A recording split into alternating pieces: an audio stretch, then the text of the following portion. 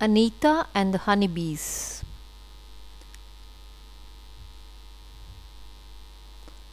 Anita was a small poor girl of Bihar.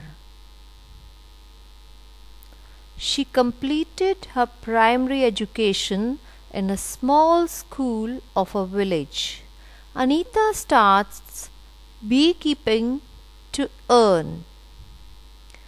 Anita inspiring villagers to be educated. Each one teach one.